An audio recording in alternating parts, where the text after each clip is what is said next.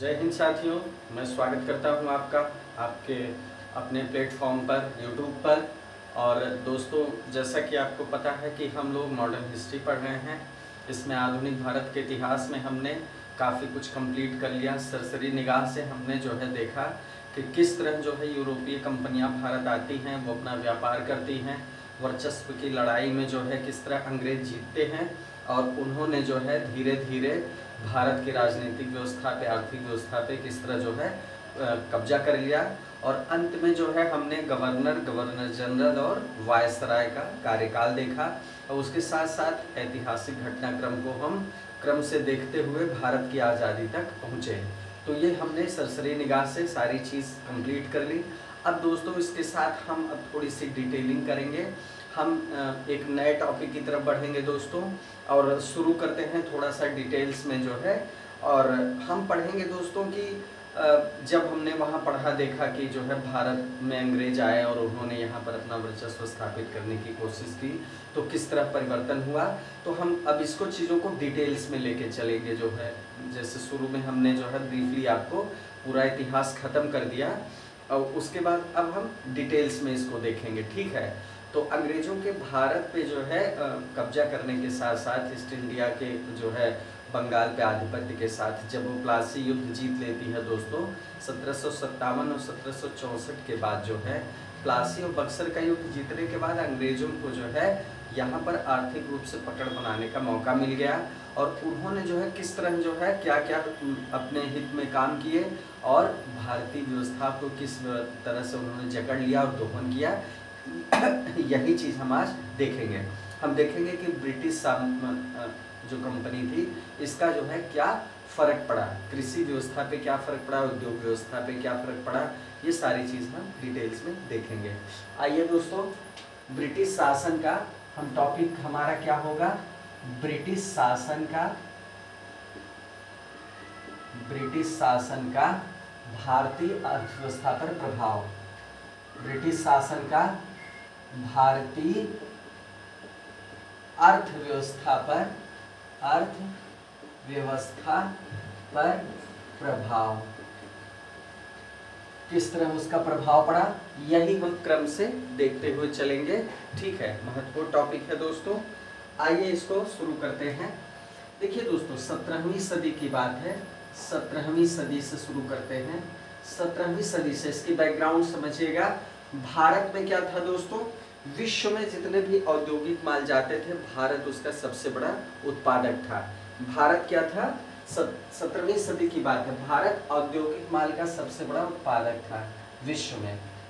औद्योगिक माल का सबसे बड़ा उत्पादक, सबसे बड़ा उत्पादक था भारत। क्लियर हुआ? चलिए, ये चीज़ आपको समझ में आ गई। यहाँ से क्या क्या औद्योगिक माल जो है उत्पादित होते थे और विदेशों में जाते थे? दोस्तों, सूती वस्त्र जाता था, रेशमी वस्त्र जाता था, ठीक है? ये जो है, कपड़े जाते थे, सूती और रेशमी। और क्या जाता था? मसाला, नील, शक्कर, औषधियाँ। मसाले, यहाँ नील की खेती होती थी। नील, शक्कर औषधि। ये सारी चीज़ें क्या थी? कच्चा माल थी। विश्व में भारत इसके लिए बहुत प्रसिद्ध था। ठीक है? सूती रेशमी वस्त्र, मसाले, नील, शक्कर और औषधि। नील कपड़ों को रंगने के लिए प्रयुक्त होता था। ठीक है? नील जो होता था, ये कपड़ों को रंगने के लिए प्रयुक्त होता था। तो ये सारी और दस्तकारी की भी चीज़ें थी दोस्तों, जो हैंडमेड होती हैं। दस्तकारी। दस्तकारी उन वस्तुओं को कहते हैं जो हाथ से छोटे छोटे कुटूर उद्योगों के द्वारा या छोटे छोटे शिल्पकारों के द्वारा बनाई जाती हैं, उनको दस्तकारी कहते हैं, ठीक है? इसके लिए भारत हमेशा से जो है प्रसिद्ध रहा है प्राचीन काल से। तो ये सारी चीज़ें क्या होती थी? बाहर के देशों को क्या होती थी? एक्सपोर्ट होती थी, निर्यात होती थी। बाहर के देशों को क्या होती थी ये सारी चीज़ें? निर्यात होती थी। बात समझ पाई चलिए। अब दोस्तों क्या था? यूरोपीय लोग ये सारी चीज़ें खरीदते थे और क्या करते थे बदले में? बहुमूल्य धातु को देते थे। ये कच्चा माल, ये औद्योगिक माल विदेशों में जाता था। कहा जाता था? विदेशों में। और विदेशों से क्या आता था? महँगी महँगी धातुएँ धातुएँ आती थी, जिसमें सोना, चांदी, ये सब प्रमुखता। तो अब कच्चे माल का, औद्योगिक माल का निर्यात करके भारत सोने चांदी को इकट्ठा करके बहुत ही समृद्ध देश बन चुका था। भारत सोने की चिड़िया हमेशा से कहा जाता था। इसीलिए ये कारण था दोस्तों। विदेशों से क्या आती थी? बहुत सारी महँगी महँगी धातुएँ आती थी सोना चांदी के रूप में। ठीक है, अब आइए देखते हैं दोस्तों आगे क्या होता है। मुगल काल आपको पता है दोस्तों। मुगल काल में जब औरंगज़ेब की मृत्यु हो जाती है औरंगज़ेब तक तो चीज़ें सब अच्छे से चलती हैं। वो एक तरह से जो है, शक्तिशाली शासक था, लेकिन उसके बाद, औरंगज़ेब के बाद, मुगल बादशाह औरंगज़ेब के बाद, मुगल बादशाह औरंगज़ेब की मृत्यु के बाद, इसकी मृत्यु के बाद क्या होता है दोस्तों? इसके उत्तरवर्ती जो मुगल शासक होते हैं, इसके बाद के जो मुगल शासक होते हैं, ये क्या करते हैं? इनके समय में जो है, जो भी यूरोपीय कंपनियाँ, भारत, आपने देखा होगा जब हमने शुरू किया था वाणिज्यिक यूरोपीय कंपनियों का भारत आगमन तो उसमें आपने देखा कि किस तरह जो है, उन्होंने उदारता पूर्वक उदारता पूर्वक क्या किया? उत्तरवर्ती मुगल शासक, इसके बाद के मुगल शासकों ने क्या किया? उन्होंने जो है यूरोपीय कंपनियों के जो भी प्रतिनिधि थे, उनको उदारतापूर्वक छूटे देना शुरू कर दिया। धीरे धीरे उनको पैर जमाने का मौका देना शुरू कर दिया। ठीक है तो इन्होंने क्या किया? इन्होंने जो है क्या किया? उदारता पूर्वक क्या किया? रियायतें दी। रियायतें दी। ठीक है, या छूट दी। अब इससे नुकसान क्या हुआ दोस्तों? जब आप विदेशी कंपनी को रियायत देंगे तो एक तो उसके पास पहले से ही पूंजी है वो सक्षम है कंपटीशन करने के लिए। जब आप उनको रियायत देंगे तो क्या होगा?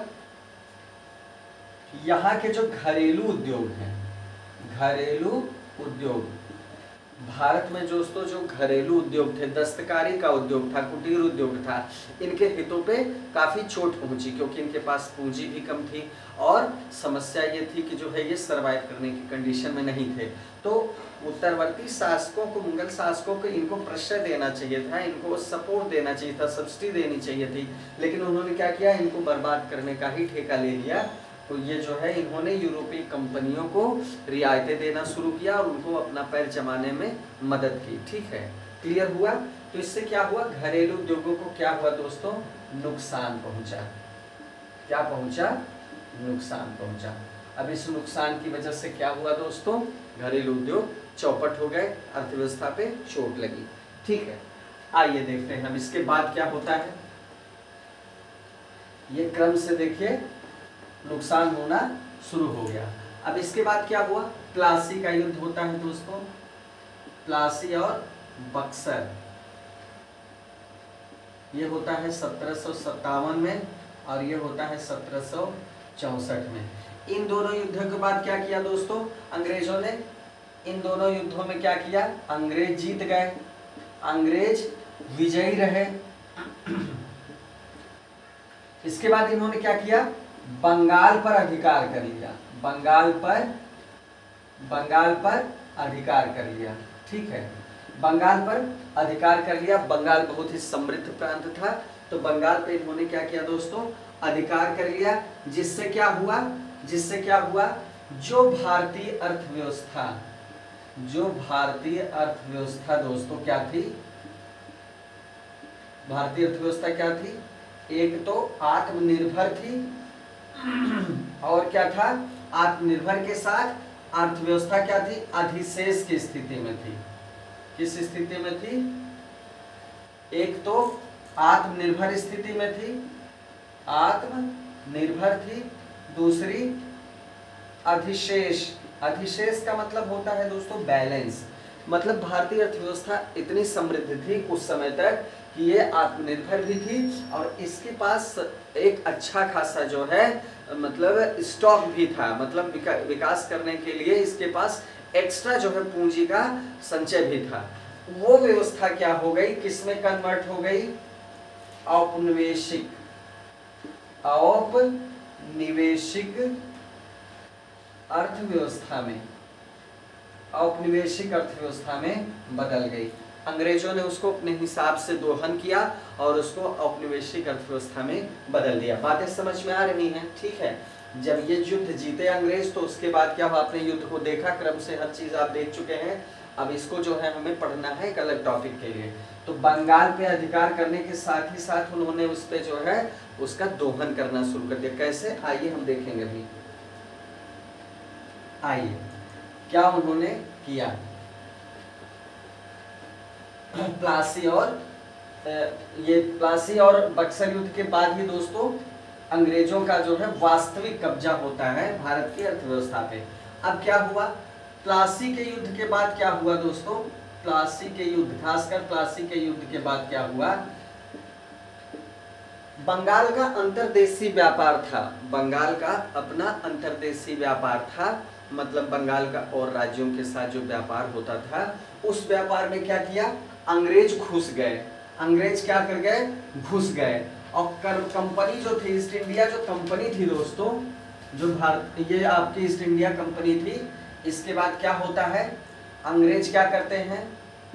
अंग्रेज़ अंग्रेज़ व्यापारी क्या करते हैं? जिन वस्तुओं का व्यापार उनके लिए प्रतिबंधित था। मतलब अब ये क्या कर गए? इंट्री मार गए। मतलब बंगाल का एक अपना व्यापार था और सारे राज्यों से अंग्रेज़ों के लिए कुछ चीज़ें प्रतिबंधित थी, अंग्रेज़ व्यापारियों के लिए। जैसे नमक, सुपारी, तंबाकू, इन पे प्रतिबंध था, इनके व्यापार पे प्रतिबंध था। लेकिन इसमें भी जो है वो अधिकार कर लिए। अंग्रेज़ व्यापारी क्या किए? इसमें भी जो है, इसमें भी अधिकार कर लिए। मतलब इनके व्यापार पे भी इनका अधिकार हो गया। तो कहने का मतलब हावी हो गए। ठीक है। अब हावी हो जाएँगे तो ज़ाहिर सी बात है, जो व्यापारी मूलता है, जो व्यापारी बंगाल के व्यापारी हैं, उन पे जो है इस पे असर पड़ेगा। ठीक है। अब इसके बाद देखिए दोस्तों, नुकसान क्या होता है? व्यापार तो व्यापार है तो नुकसान क्या होता है? ठीक है। अब देखिए इसके पहले जो लोग आए अंग्रेज़ों के पहले जो विजेता आए दोस्तों, उन्होंने क्या किया? वो यहाँ पर उन्होंने जो है शासन किया, कब्जा किया, शासन किया, लेकिन यहीं में वो रच बस गए, घुल मिल गए। अंग्रेज़ों के साथ क्या समस्या थी? अंग्रेज़ जो है यहाँ दोहन करते थे और यहाँ से जो धन जो है वो दोहन दोहन करते थे, वो अपने देश वापस भेज देते थे, इंग्लैंड भेज देते थे। इससे क्या होता था? हमारा देश का पैसा कहाँ चला जाता था? विदेश में चला जाता था और वहाँ की अर्थव्यवस्था मज़बूत होती थी। हमारे देश की अर्थव्यवस्था कमज़ोर होती थी। इसके पहले के विजेताओं ने क्या किया था? वो धन तो अर्जित करते थे, दोहन करते थे, लेकिन वो यहीं की अर्थव्यवस्था में लगाते थे, इसलिए अर्थव्यवस्था का बैलेंस बना हुआ था। ये अंतर था सबसे बड़ा पूर्व के जो है विजेताओं में और अंग्रेज़ों में। क्लियर हुआ? ये कॉन्सेप्ट क्लियर हुआ? चलिए, अब देखिए दोस्तों, अब आगे आपको जो समझना है, वो क्या है? देखिए ये दोस्तों, एक इनका मकसद क्या था? आप समझिए, आखिर अंग्रेज़ों ने ऐसा किया क्यों? ब्रिटिश औपनिवेशिक व्यवस्था में परिवर्तित किया इन्होंने, भारतीय अर्थव्यवस्था को। इन्होंने क्या किया? भारतीय अर्थव्यवस्था को इन्होंने क्या किया? ब्रिटिश औपनिवेशिक व्यवस्था में बदल दिया। ब्रिटिश औपनिवेशिक अर्थव्यवस्था ब्रिटिश औपनिवेशिक अर्थव्यवस्था में इन्होंने बदल लिया। ठीक है, ऐसा किया क्यों इन्होंने? असल में इसके पीछे इनके सबसे मुख्य उद्देश्य था क्या दोस्तों? दो उद्देश्य था। उद्देश्य क्या था? अगर कहा जाए कि इनका उद्देश्य क्या था तो जो पहला उद्देश्य था दोस्तों, वो क्या था? अपने उद्योगों के लिए कच्चा माल उपलब्ध करना। के लिए कच्चा माल प्राप्त करना पहला उद्देश्य था कि जो है भारतीय अर्थव्यवस्था का दोहन करके कच्चा माल उपलब्ध किया जाए ताकि हम अपनी अर्थव्यवस्था को मज़बूत बना सके। और दूसरा काम, जब इनके इनके फैक्ट्रीज में या कारखाने में, जैसे यहाँ से कच्चा माल विदेश गया, इंग्लैंड गया, वहाँ पर जो है, जो उनकी फैक्ट्रीज हैं, जो भी कारखाने हैं, वहाँ जब प्रोडक्ट जो है बन गया है तो उसको भारतीय बाज़ार में ऊँची कीमतों पे बेचना भारतीय बाज़ार में तैयार उत्पादों को, तैयार उत्पादों को क्या करना, तैयार उत्पादों को भारतीय बाज़ार में, भारतीय बाज़ार में ऊँची कीमतों पर बेचना, ऊँची कीमतों पर बेचना। मतलब आप समझिए करना क्या है इनको। ये यहाँ से कच्चा माल सस्ते में कैप्चर कर रहे हैं, खरीद रहे हैं, ले रहे हैं, उसके बाद इसको विदेश भेज रहे हैं। अपनी कंपनियों में, अपनी फैक्ट्रियों में वहाँ पर जो है प्रोडक्ट बन रहा है। फिर जैसे यहाँ से इन्होंने सूती खरीदा यहाँ से इन्होंने कॉटन खरीदा, यहाँ से इन्होंने रेशम लिया और वहाँ पर ले जाके इन्होंने प्रोडक्ट बनाया, कपड़े बनाए। और यहाँ से तो उन्होंने बहुत सस्ते में कच्चा माल खरीद लिया। उसके बाद इन्होंने क्या किया? वहाँ से जो तैयार उत्पाद है भारतीय बाज़ार में, उसको ऊँची कीमत पे बेचना। इसी के लिए इन्होंने भारतीय अर्थव्यवस्था को किसमें कन्वर्ट कर दिया? ब्रिटिश औपनिवेशिक अर्थव्यवस्था में। यही दो मुख्य उद्देश्य थे इनके। चलिए, ठीक है। अब ये बात आपको समझ में आ गई। कि इन्होंने ऐसा किया क्यों? आगे बढ़ते हैं दोस्तों। अब देखते हैं उपनिवेशवाद। अब देखेंगे कि भारत में ब्रिटिश उपनिवेशवाद किस तरह काम करता है।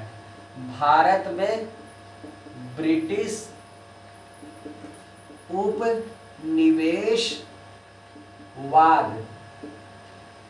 उपनिवेश का मतलब क्या होता है दोस्तों? आपको पता ही होगा, उपनिवेश का मतलब होता है जब कोई भी बड़ा देश जो है, अपना छोटा एक ब्रांच कह लीजिए, वहाँ पर वो कब्जा कर लेता है तो वो छोटी सी अपनी ब्रांच बना लेता है, दोहन करने के लिए और अपनी अर्थव्यवस्था या राजनीतिक व्यवस्था का प्रसार करने के लिए, ठीक है? उपनिवेश होता है छोटा सा हिस्सा, किसी भी बड़े विशाल देश का एक छोटा सा हिस्सा जिसका वो दोहन कर सके, जो उसके अंडर में रहे।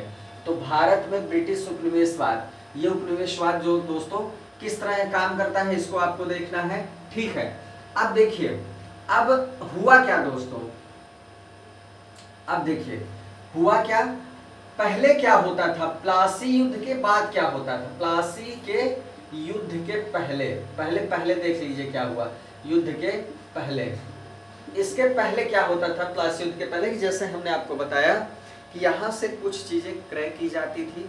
विदेश जाती थी, विदेश से सोना चांदी के रूप में बहुमूल्य धातुओं जो है भारत वापस आती थी। तो जब बहुत बहुमूल्य धातुएँ भारत वापस आएँगी तो यहाँ से अगर वस्तुएँ जा रही तो यहाँ धन भी आ रहा है। बहुमूल्य धातुएँ आ रही हैं, सोना चांदी आ रहा है तो देश समृद्ध हो रहा है। यहाँ तक तो बात समझ में आती है। लेकिन प्लासी के युद्ध के बाद क्या होता है? चूँकि अंग्रेज़ों ने अपने हिसाब से इसका दोहन करना शुरू कर दिया, तब क्या होता है दोस्तों? यहाँ से भारत से जो चीज़ें वो खरीदते हैं। यहाँ से जो चीज़ें खरीद के बाहर भेजी जा रही हैं उसका भुगतान ये लोग कैसे करेंगे अब? अब ये बाहर से आ, सोना चांदी या बहुमूल्य धातु के रूप में इसका भुगतान नहीं करते थे। यहाँ बंगाल का जो दोहन करते थे यहाँ से जो पैसा उनको मिलता था बहुत सारे तरीकों से कृषि लगान से मिलता था और भी जो अपने तरीके से वो दोहन करते थे व्यापार करते थे उस पैसे से ही वो इसका भुगतान कर देते थे। मतलब यहीं की अर्थव्यवस्था से दोहन किए हुए पैसे से वो यहाँ से खरीदी चीज़ों का भुगतान कर देते थे। इस तरह अर्थव्यवस्था डेवलप नहीं हो पा रही थी और कमज़ोर होती चली जा रही थी। क्योंकि बाहर से जब कहीं सोना चांदी आएगा, धातुएँ आएँगी तो वो जो है अर्थव्यवस्था को मज़बूत करेंगे। लेकिन वो यहीं से पैसा निकाल के यहीं उसका भुगतान कर देते थे तो वो एक तरह से बराबर हो जाता था। और जो चीज़ें जो है निर्यात कर दी जाती थी उसका जो है खर्च माइनस में हो जाता था, ठीक है? तो प्लासी के युद्ध के बाद सिचुएशन क्या हुई? बदल गई। और यहीं के पैसे से, यहीं के दोहन किए हुए धन से वो क्रय चीज़ों का भुगतान कर देते थे। तो आप पूरी तरह समझ रहे होंगे कि किस तरह व्यवस्था चौपट हो रही है, ठीक है? अब देखिए, सत्रह सत्रह के बाद क्या हुआ? यही प्लासी युद्ध के बाद क्या हुआ दोस्तों? कि क्या हुआ? कंपनी द्वारा भारत से जो भी निर्यात की जाने वाली चीज़ें हैं, कच्चे माल की, ठीक है? वो क्या हुआ? जो भी ये प्लासी युद्ध के बाद, जो चीज़ भी जो है कंपनी द्वारा बाहर निर्यात की गई, भारत से निर्यात की गई कंपनी ने उसके बदले में भारत में कुछ भी नहीं लौटाया। सारी चीज़ें जो है एक तरह से फ्री में गई। अब इसका मतलब यही हुआ कि यहाँ के दोहन किए पैसे को ये पे कर देते थे तो कोई मतलब नहीं होता था उसका। एक्स्ट्रा अर्थव्यवस्था में जो है इनकम होना बंद हो गया। तो ये स्थिति पैदा होती है दोस्तों, सत्रह के बाद से। ये सत्रह या प्लासी का युद्ध जब हुआ, उसके बाद से ये सिचुएशन क्रिएट होती है, ठीक है? चलिए, ये बात आप समझ गए कि किस तरह भारत में ब्रिटिश उपनिवेशवाद अपनी जड़ बना रहा है, ठीक है? इस तरह क्या हुआ दोस्तों? भारतीय माल और संपत्ति का क्या होता रहा? भारतीय माल और संपत्ति का प्रतिवर्ष दोहन होता रहा। दोहन होता रहा। क्लियर हुआ? इस तरह अर्थव्यवस्था धीरे धीरे कमज़ोर होती रही। ठीक है? इतनी बात समझ में आई? अब इस स्थिति में क्या हुआ? इंग्लैंड और अधिक अमीर होता गया और अधिक अमीर होता गया। और भारत और अधिक अधिक गरीब होता गया। भाई, भारत का जो क्रय किया जा रहा है यहाँ से, बाहर एक्सपोर्ट किया जा रहा है, उसका पैसा कंपनी नहीं दे रही है। अर्थव्यवस्था में कमी तो आएगी ही। और दूसरी बात, वहाँ पर पहले तो सस्ते ले जाते थे, बाद में क्या किए फ्री में ले जाने लगे। या नाम मात्र का शुल्क तो आप समझ लीजिए, वहाँ पर अपने औद्योगिकरण को मज़बूत करते थे और एक यही चीज़ नहीं करते थे। वहाँ पर जो प्रोडक्ट बनाते थे, उसको फिर से यही लाके मार्केट में खपाते थे ऊँचे दामों पे। मतलब डबल फ़ायदा ले रहे थे। तो इस तरह ये जो है, और अधिक अमीर बन रहे थे और भारत बराबर गरीब बनता चला जा रहा था। तो ये दोस्तों, ये चीज़ होती चली गई। अब क्या हो गया? इसी पैसे से और इसी पूंजी से क्या हुआ? ब्रिटेन दोस्तों औद्योगिकरण का विकास किया। वहाँ पर औद्योगिकरण बहुत फला फूला क्या हुआ? यही जो धन था दोस्तों और पूंजी, धन और पूंजी संचय से क्या हुआ? जो इन्होंने यहाँ से पैसा लूटा इस वजह से, वहाँ फ्री में लेके गए। मान लीजिए कच्चा माल फ्री में मिल जाए या बहुत सस्ते मिल जाए तो आपको प्रोडक्शन जो है ज़ाहिर से बात है प्रोडक्शन कास्ट कम आएगी। फ़ायदा ही फ़ायदा होगा। तो इससे क्या हुआ? ब्रिटेन में औद्योगिकरण हुआ। औद्योगिकरण। औद्योगिकरण के लिए दोस्तों क्या चाहिए? पूंजी चाहिए। इनको मिल गई। अनेक आविष्कारों के लिए भी धन चाहिए। नए नए आविष्कारों के लिए, मशीनों के लिए वो इनको भारत से मिलने लगा। इनकी कास्ट कम हो गई और इसके बाद क्या हुआ? ये औद्योगिकरण के दौर से गुजरे। कहीं ना कहीं ये भारतीय अर्थव्यवस्था का दोहन करके ही संभव हुआ। चलिए, ये बात क्लियर हो गई। चलिए, ये टॉपिक आपको, ये समझ में आया। अब इसमें देखिए दोस्तों, गृह शुल्क। एक गृह शुल्क अदा करता था भारत। गृह शुल्क क्या था? गृह शुल्क एक टर्म है दोस्तों, ये क्या था? इंग्लैंड में राज्य सचिव होता था। भारत के लिए एक राज्य सचिव होता था जो इंग्लैंड में रहता था। भारत के लिए एक राज्य सचिव होता था। तो राज्य सचिव क्या करता था? भारत सरकार की तरफ़ से जो व्यय करता था भारत सरकार की तरफ़ से जो भी व्यय करता था, जो भी व्यय करता था, वो शुल्क क्या कहलाता था? गृह शुल्क कहलाता था। क्या कहलाता था दोस्तों? गृह शुल्क कहलाता था।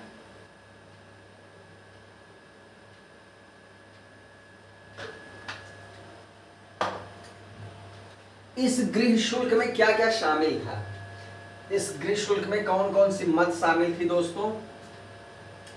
भारत में, भारत का जो है सार्वजनिक ऋण, जो भी ऋण लिया जाता था, भारतीय सार्वजनिक ऋण शामिल था। एक चीज़, रेलों पर लगाए गए पूंजी पर दिया ब्याज। उन्होंने रेल की व्यवस्था तो दी, लेकिन रेल की व्यवस्था की जो पूंजी लगाई थी इन्वेस्टमेंट किया था, उसका जो ब्याज था, वो भी जो है, इसी भारत सरकार से वसूलते थे। रेलों पर लगाई गई पूंजी का ब्याज। क्लियर हुआ? पूंजी का ब्याज। भारत को दी गई सैनिक और अन्य सामग्री की लागत। भारत को दी गई जो भी सैनिक व्यवस्था थी, उसकी भी जो है लागत वो यहीं के गृह शुल्क से वसूलते थे। सैनिक व्यवस्था व्यवस्था और अन्य सामग्री की लागत। ओके? ठीक है। और क्या? भारत के कारण जो शुल्क देना पड़ता था, इंग्लैंड में जो नागरिक और सैनिक शुल्क देना पड़ता था, वो भी इसी में शामिल था। मतलब ये सारी चीज़ें कहाँ से आती थी? गृह शुल्क से आती थी। अब यूरोपीय अफसरों को, जो यूरोपीय अफसरों को पेंशन मिलती थी दोस्तों, यूरोपीय अफसरों को जो भत्ते मिलते थे, अलाउंस मिलते थे, पेंशन मिलती थी, वो किससे दी जाती थी? यही गृह शुल्क से दी जाती थी। तो गृह शुल्क का मतलब क्या था? राज्य सचिव की तरफ़ से जो भी व्यय होता था, वो था, और ये सारी चीज़ें थी दोस्तों, ठीक है? ये सारी चीज़ें मिलके मिलके गृह शुल्क कहलाती थी। चलिए, एक चीज़ हो गई। एक शब्द था दोस्तों इंपीरियल प्रिफरेंस क्या था? एक शब्द था, एक टर्म है दोस्तों इंपीरियल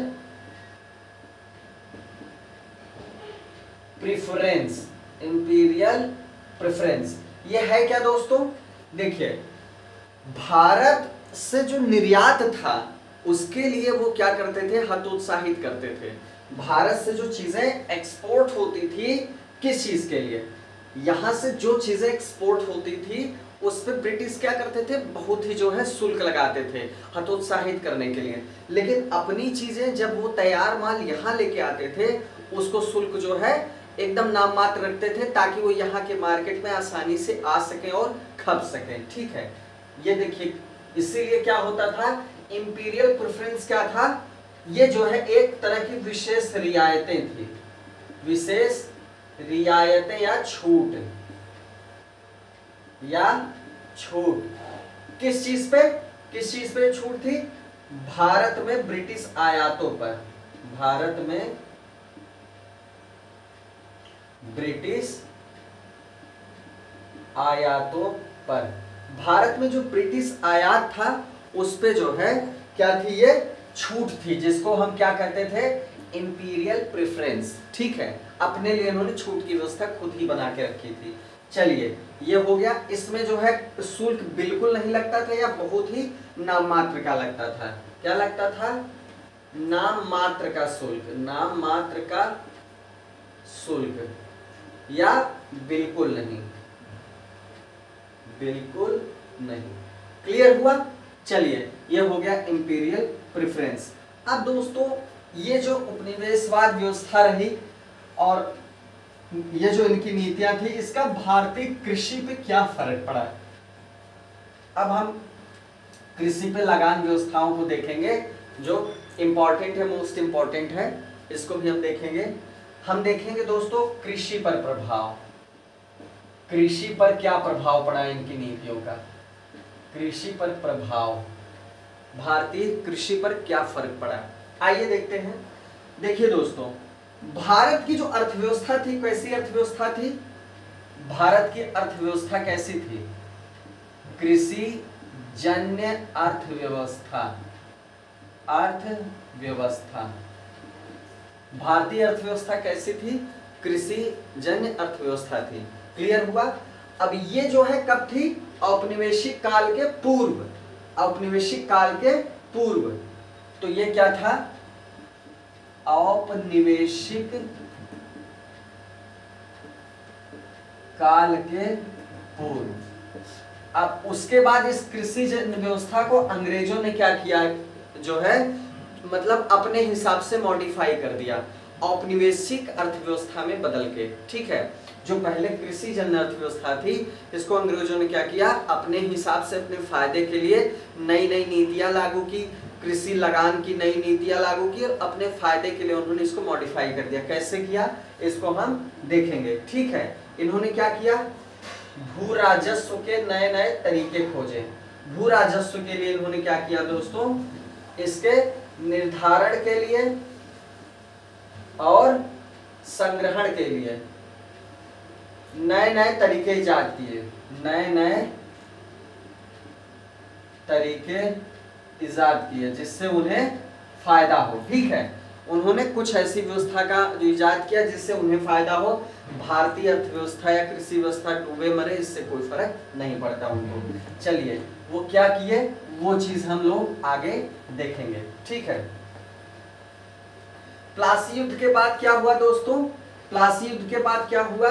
सत्रह सौ सत्तावन के प्लासी युद्ध के बाद प्लासी युद्ध के बाद, ये प्लासी युद्ध दोस्तों लैंडमार्क है, ये चीज़ आप याद रखिएगा। इसके बाद क्या होता है? बंगाल की दीवानी उन्हें मिल जाती है। कंपनी को क्या मिल जाता है? बंगाल की दीवानी प्राप्त हो जाती है। बंगाल की दीवानी जब प्राप्त हो जाती है दोस्तों, तब क्या करता है? उस समय कंपनी का जो गवर्नर जनरल होता है, गवर्नर जनरल होता है होता है वारन हास्टिंग्स वारन हेस्टिंग्स क्या करता है दोस्तों? कौन होता है? Warren Hastings. हेस्टिंग्स, ये क्या करता है? 1772 में 1772 में बंगाल में द्वैत शासन की व्यवस्था को समाप्त कर देता है। जो द्वैत शासन व्यवस्था होती है, इसको ये क्या करता है? समाप्त कर देता है। द्वैध शासन व्यवस्था को समाप्त कर देता है। ठीक है? और उसके बाद ये क्या करता है? एक नया फॉर्मिंग सिस्टम लाता है।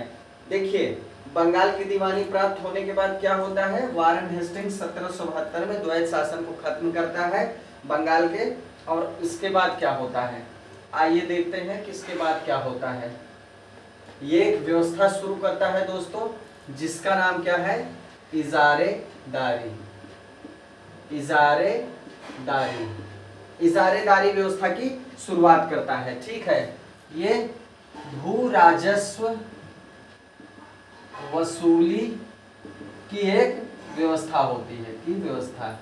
मतलब उसने इजारेदारी व्यवस्था की शुरुआत की, जो भू राजस्व वसूली की एक व्यवस्था है। संक्षेप में इसको समझे कि व्यवस्था क्या है, किस तरह काम करती है? ये व्यवस्था में क्या होता था दोस्तों? जो सबसे अधिक ऊँची बोली लगाता था। सबसे ऊँची बोली। सबसे ऊँची बोली लगाने वाले व्यक्ति को ज़मीन का मालिकाना हक दे दिया जाता था। क्या किया जाता था? ज़मीन का मालिकाना हक दे दिया जाता था। इजारेदारी व्यवस्था में ये व्यवस्था थी, ठीक है? जो भी सबसे अधिक ऊँची बोली लगाता था, उसको जो है मालिकाना हक दे दिया जाता था। अब क्या हुआ? क्लाइव के समय, रॉबर्ट क्लाइव जब था दोस्तों, रॉबर्ट क्लाइव के समय क्या था? भू राजस्व जो था, वार्षिक था। भू राजस्व का जो बंदोबस्त था बंदोबस्त था, वो क्या था? वार्षिक था। मतलब वो हर साल जो है, प्रतिवर्ष निर्धारित होता था। अब हेस्टिंग्स ने क्या किया? वारेन हेस्टिंग्स ने क्या किया? हेस्टिंग्स ने इसको बढ़ा के क्या किया? इसको पाँच वर्ष पाँच वर्ष। इसके बाद जो है इसने पाँच वर्ष किया। पंचशाला, पंच वर्ष, पाँच वर्ष कर दिया। इजारेदारी में इसने क्या किया? पाँच साल जो है इसका समय कर दिया। ठीक है? स्थायी बंदोबस्त इसके बाद है, उसमें हम देखेंगे। भू राजस्व व्यवस्था का बंदोबस्त वार्षिक जो होता था क्लाइव के समय, वो हेस्टिंग्स के समय क्या हुआ? पाँच साल पे होने लगा। क्लियर हुआ? इजारेदारी आपको समझ में आ गई दोस्तों? अब देखिए, जब ऊँची बोली का मतलब क्या हुआ? जिसके पास पूंजी है, वही ऊँची बोली लगाएगा। जो ठेकेदार होगा, संपत्ति जिसके पास होगी। तो ये क्या हुआ? एक तरह से ठेके की व्यवस्था हो गई। ठेके की व्यवस्था। मतलब ठेके पे जिसने ले लिया, अब वही खेती करवाएगा और लगान कंपनी को देगा। अब जब ठेके पे वो ले लेगा दोस्तों तो ज़ाहिर सी बात है, किसान का वो दोहन करेगा। उनसे अधिक से अधिक परिश्रम करवाएगा और कम से कम उनको जो है पैसा देगा। इस तरह किसानों का बहुत ही शोषण हुआ और भूखमरी के कगार पे आ गए।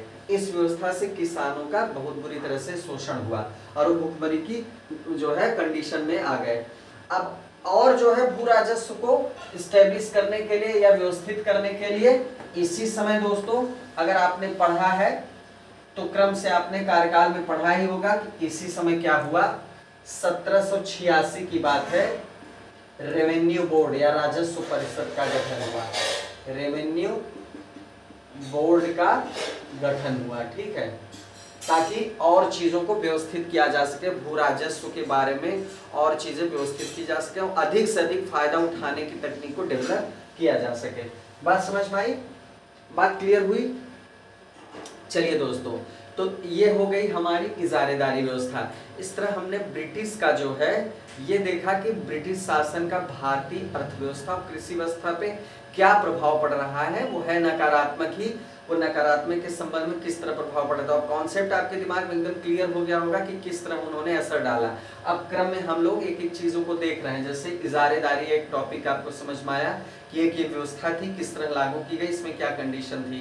अब इसके बाद हम और सारी कृषि लगान की व्यवस्था को देखेंगे और अगले टॉपिक अगली क्लास में इस टॉपिक को कंप्लीट कर देंगे। इजारेदारी के साथ हम स्थायी बंदोबस्त भी देखेंगे, महालवारी भी देखेंगे। यहाँ से प्रश्न ज़रूर पूछता है परीक्षाओं में मॉडर्न हिस्ट्री से जो सवाल आते हैं तो कृषि भू राजस्व के जो बंदोबस्त की व्यवस्थाएँ हैं, जहाँ से लगान की व्यवस्था है, वहाँ से सवाल पूछा जाता है परीक्षाओं में। तो अगला टॉपिक और महत्वपूर्ण होगा तो इन दो वीडियोस में ये टॉपिक कंप्लीट हो जाएगा। तो आज के लिए दोस्तों इतना ही। मिलते हैं अगले वीडियो में इस टॉपिक की बाकी चीज़ों के साथ। ठीक है दोस्तों, जय हिंद।